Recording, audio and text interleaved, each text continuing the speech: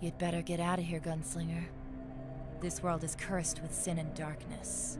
Nothing will save this world from destruction. Uh, what's up with her? We are all doomed to eternal torment. She's a dark fantasy princess. Death, fear, disgust of ourselves. She needs a special approach. Feeling better? Yes! Now I don't feel the weight of the heaviest sins. And I don't want to say all those scary phrases. How did you do it? Just some kitties and home bacon.